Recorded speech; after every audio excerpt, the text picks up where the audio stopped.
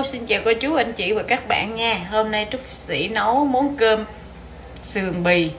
Mời cô chú, anh chị và các bạn cùng xem video ủng hộ Trúc với nha. Bây giờ Trúc sẽ vào bếp nè. Bây giờ là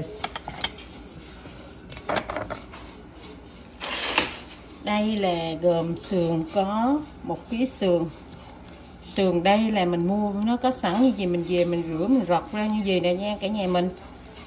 Cả ký nha mình làm món sườn này bây giờ mình gồm có hành dẻ nè hành tỏi lúc nào cũng phải có dẻ nè.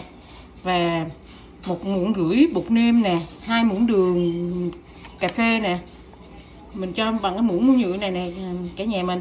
Rồi một tí xíu tí, tiêu thôi nha. Rồi gồm có một muỗng dầu ăn canh nha. Và một ừ, hai muỗng nước tương canh nha. Bây giờ trúc sẽ cho thơm một muỗng vào đây. Thêm một ít nữa, cho nó thơm cái thịt. Ừ. mình cho cái phần này qua ướp hết luôn.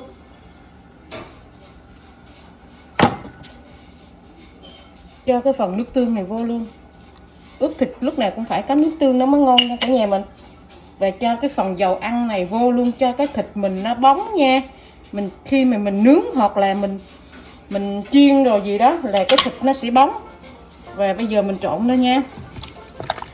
Mình bỏ dầu ăn, không cần bỏ mật ong nha. Tại vì cái thịt nó bóng với nó không bị khô thịt nha, cả nhà mình. Mình ướp dầu ăn, nó không bị khô thịt nha. Khi mà mình nướng cái thịt nó ra, nó rất là bóng. Nó không có bị khô thịt. Nghe chị gái mình ờ, bán bún thịt nướng. Thành mình biết rõ cái cho cái dầu ăn này nhiều người hỏi nướng sao cái thịt nó bóng vậy là không có phải bỏ mật ong đâu cả nhà mình mà toàn là bỏ um, dầu ăn thôi đó. Đó bây giờ ướp á mình đỡ nửa tiếng đi cho nó thấm ha. Rồi mình đi làm cái việc khác.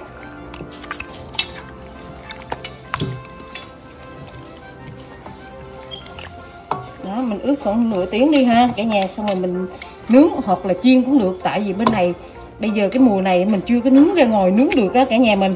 Thì trúc sẽ chiên. À, còn à, cả nhà mình nướng thì bỏ lên bếp nướng nó rất là ngon nha. Bây giờ mình mình chờ nửa tiếng ha. Thơm quá. Mình chờ nửa tiếng à, cả nhà mình ha. Đây mình bắt dầu lên mình giờ mình chiên sườn nha cả nhà cho mình chiên sườn, tại vì mình không có nướng được thì mình chiên nha. Mình chiên sườn cho nó vàng.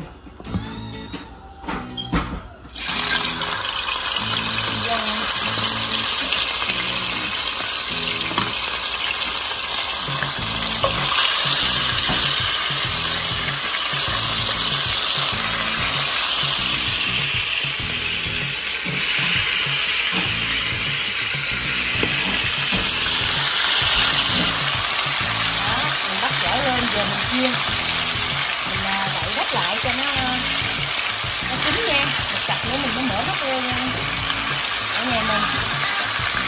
Đó, bây giờ cắt cho để cho như vậy rồi đó.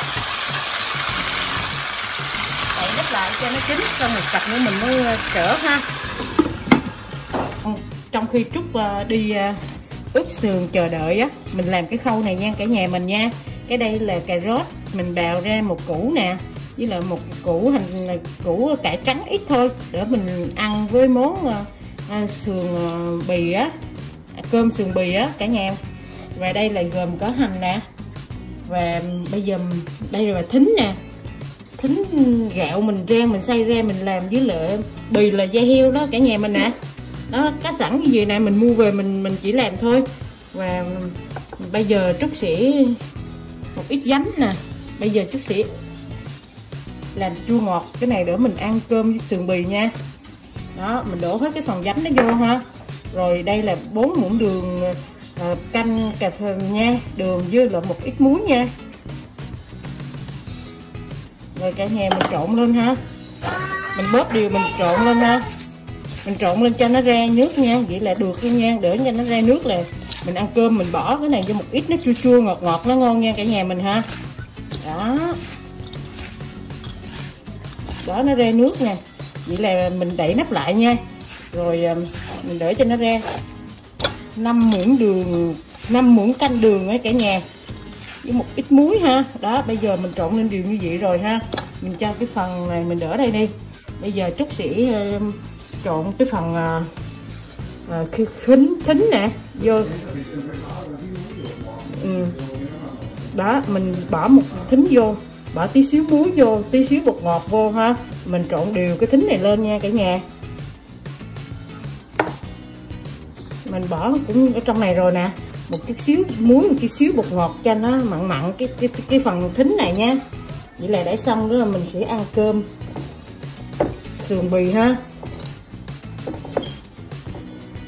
Ngon quá ha. Ngon quá rồi, bây giờ mình cho cái phần này mình đi ờ, làm hành ha. Làm mỡ hành ha cả nhà. Mình cho vào đây luôn. Mình cho một ít vào đây, dầu vô đây. Mình ờ, bỏ, nếu cái lò quay, cái lò vi sóng á, không có cái lò vi sóng thì mình có thể mình bắt lên bếp hơn. Còn cái này thì ờ, chút bỏ vô bếp, chút quay khoảng năm xích kình thôi, nửa xích kình quay thôi. Rồi. 30 nè vậy là được ha. Trong khi mình chiên được 15 phút á, thì trút dở ra. Trút dở cái sườn đó ha. Tại vì cái này lá nếu mà nướng á là ngon lắm, cả nhà mình à. Nhưng mà mình không có ra ngồi nướng được. Đó. mình chiên cũng được. Mình chiên cho nó vàng như vậy nè.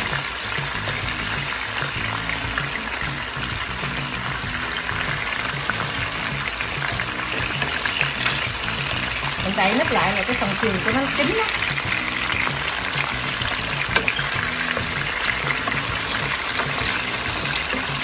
nó mềm nữa.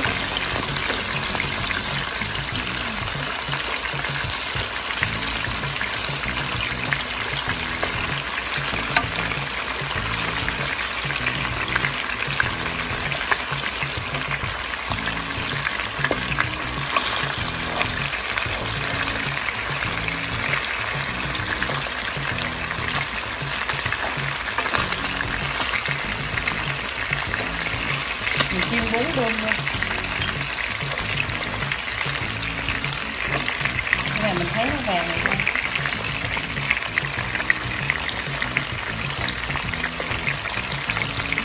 Bây giờ là chín rồi, chỉ có mình trưng bày ra để mà mình ăn thôi.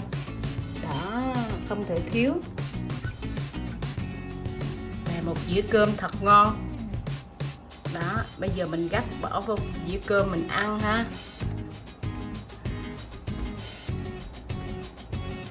Sườn nó bay mùi thơm. Đó, bây giờ là chút để cho một dĩa để xong rồi ha. Mời cả nhà và cô bác, anh chị và các bạn cùng ăn với dĩa cơm sườn bì nha. Đó, nó vậy thôi. Mình ăn đơn giản ha. Mời cả nhà nha. Đó, ngon không cả nhà ơi? Mình để xong một dĩa cơm sườn bì ha.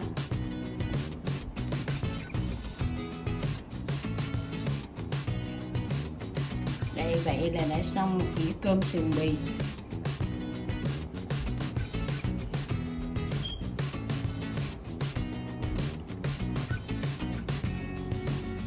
Vậy là đã xong hết nha cả nhà. Và xin hẹn lại, gặp lại video sau nha. Chúc cả nhà ăn ngon miệng nha.